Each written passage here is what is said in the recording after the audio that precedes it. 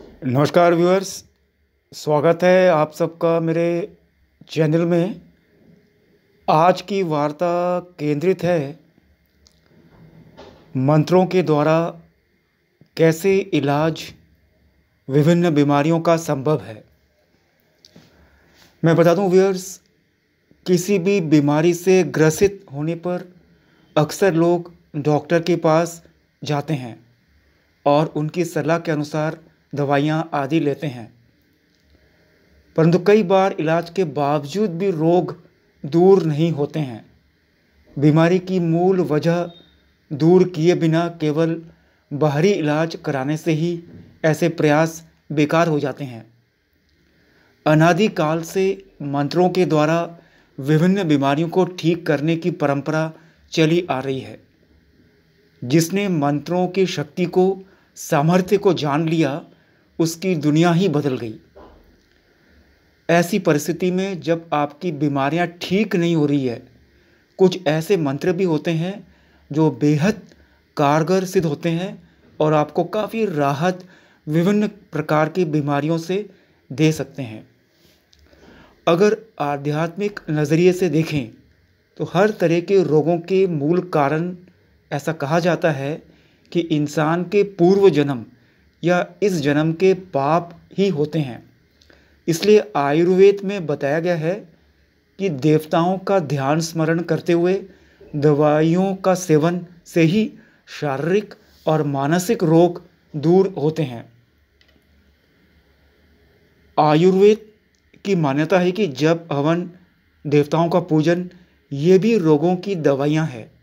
ऐसे में रोगों के नाश के लिए पूजा और देवताओं के मंत्र की उपयोगिता स्पष्ट होती है। जो जटिल रोग से पीड़ित हो, उन्हें हनुमान जी की आराधना करनी चाहिए। वैसे तो व्यूअर्स श्रद्धालु पूरी हनुमान चालीसा का पाठ किया करते हैं, परंतु ऐसा माना जाता है कि रोग नाश के लिए हनुमान चालीसा की निम्न चौपाइयाँ और दोहे, जो मैं वर्णन कर रहा हूँ, को मंत्र की तरह जपने का विधान है। इसको करने से कई प्रकार के रोग, व्याधि, बीमारियाँ आपके पास नहीं आएगी और आप अपने शरीर में बहुत ज़्यादा फिटनेस फील करेंगे। पहला चौपाई है बुद्धिहीन तनु जानी के सुमरो पवन कुमार, बल बुद्धि विद्या देहु मोही, हरहु कलेश विकार। दूसरा चौपाई है, नासे रोग हरे स पीरा, जपत निरंतर हनुमत बीरा। कहते हैं कि इन दोनों मंत्रों को यदि कोई व्यक्ति काफ़ी समय जाप कर लेता है तो इन दोहों के जप से हर तरह के रोग, शारीरिक दुर्बलता, मानसिक कलेश दूर हो जाते हैं। खास बात तो ये कि हनुमान जी के उपासक को सदाचारी होना चाहिए। सदाचार से वे प्रसन्न होते हैं और मनोकामनाओं को पूरा करते हैं। व्यूअर्स, इन मंत्रों का जप अनुष्ठान के साथ करने के भी तरीके हैं, पर वे थोड़े जटिल हैं।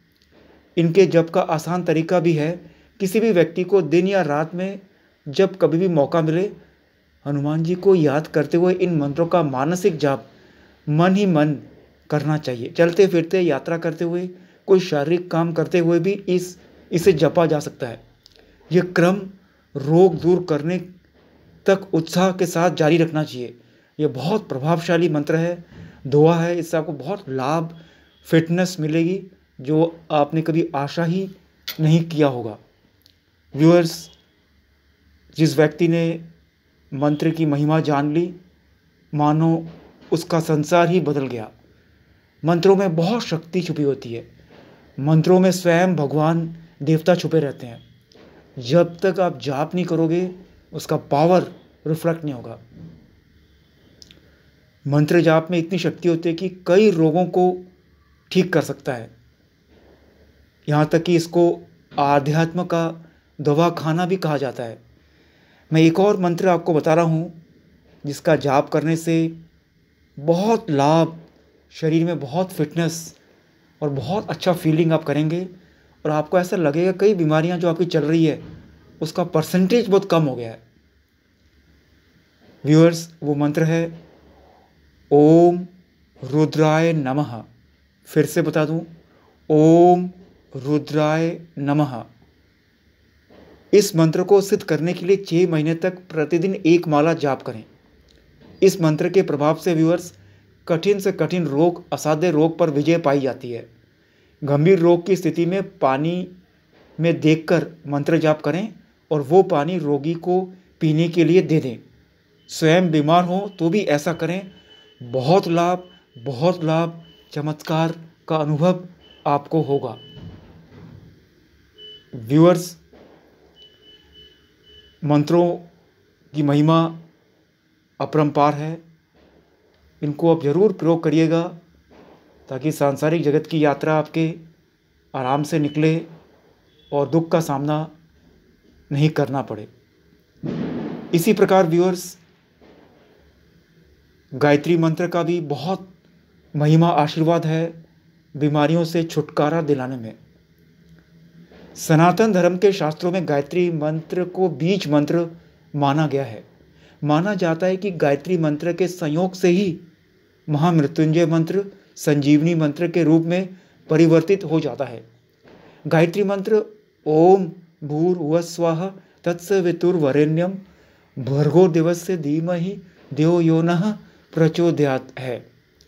ये मंत्र व्यूअर्स अत्यधिक प्रभावशाली और चमत्कारिक माना गया है। इस मंत्र से कई रोगों का उपचार भी किया जाता है।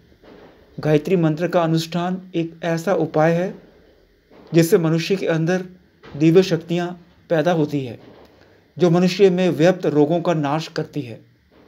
जो व्यक्ति स्वयं अनुष्ठान में सक्षम ना हो तो वो किसी भी विद्वान से ही कार्य करवाकर लाभ प्राप्त कर सकता है। व्यूअर्स, एक निश्चित संख्या में गायत्री मंत्र का जाप करने से रोगों को दूर किया जा सकता है।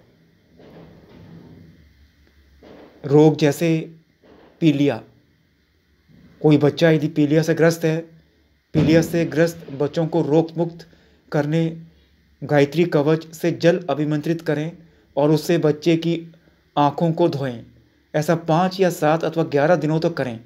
इसके साथ ही गायत्री मंत्र से मंत्रित जल रोगी को पिलाते रहें। माँ गायत्री कृपा से बच्चा जल्द ठीक हो जाएगा और बहुत लाभ मिलेगा।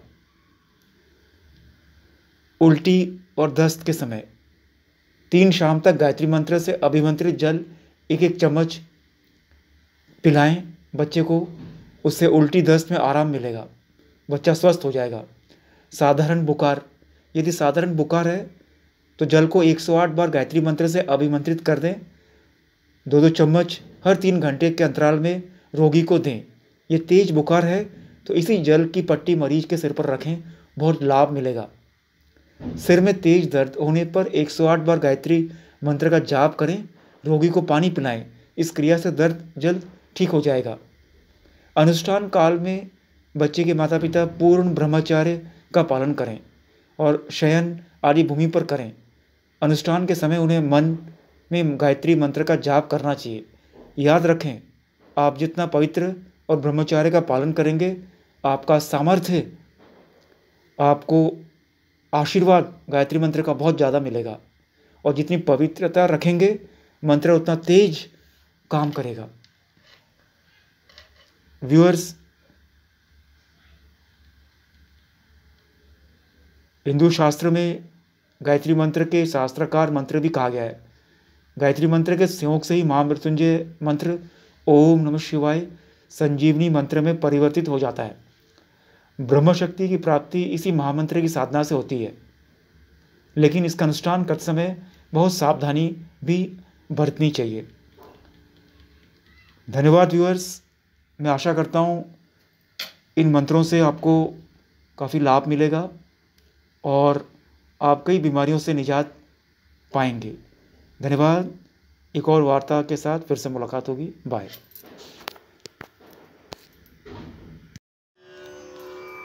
गायत्री कोई मंत्र नहीं है जिसे पढ़ने से मुक्ति मिलती हो। वरन एक समर्पणात्मक छंद है। तीन बार विचलित होने के पश्चात ऋषि विश्वामित्र ने अपने को इष्ट के प्रति समर्पित करते हुए कहा, ओम भूर्भुव स्व तत्सवितुर्वरेण्यम भर्गो देवस्य धीमहि धियो यो न प्रचोदयात। अर्थात भू भुव और स्व तीनों लोकों में तत्व रूप से व्याप्त देव। आप ही वरेण्य हैं।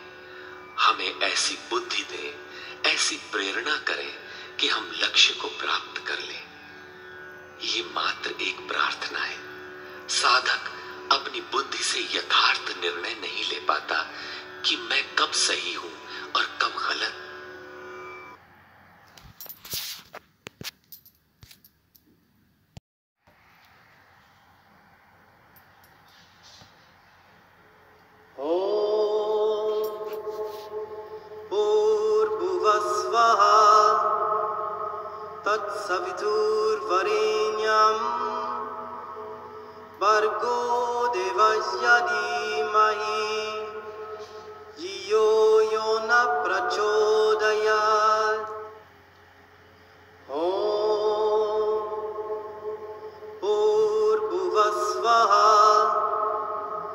तत्सवितुर्वरेण्यं भर्गो देवस्य धीमहि यो न प्रचोदयात्। ॐ भूर्भुवस्वः तत्सवितुर्वरेण्यं भर्गो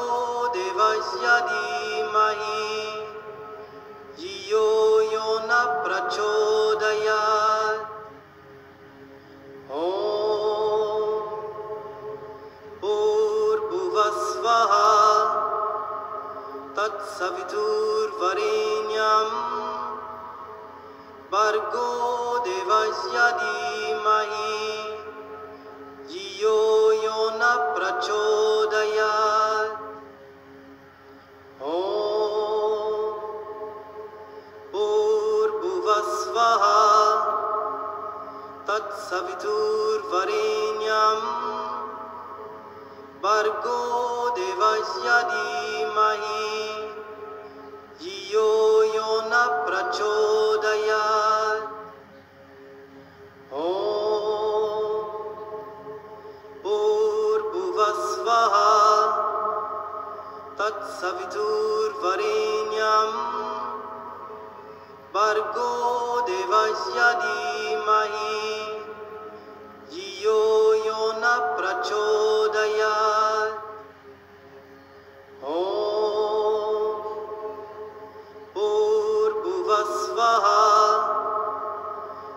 तत्सवितुर्वरेण्यं भर्गो देवस्य धीमहि धियो यो न प्रचोदयात्। ॐ भूर्भुवस्वः तत्सवितुर्वरेण्यं भर्गो देवस्य धीमहि